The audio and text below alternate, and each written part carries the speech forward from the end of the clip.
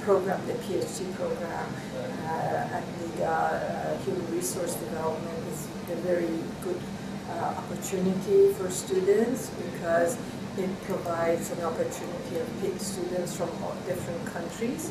Uh, and my experience has been that the quality of these students are very good and the expectations are very high.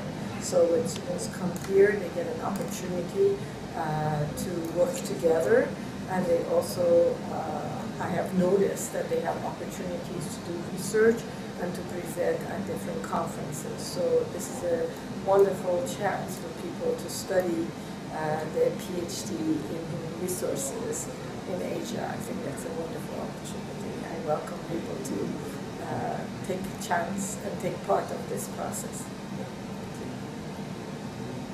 Thank you.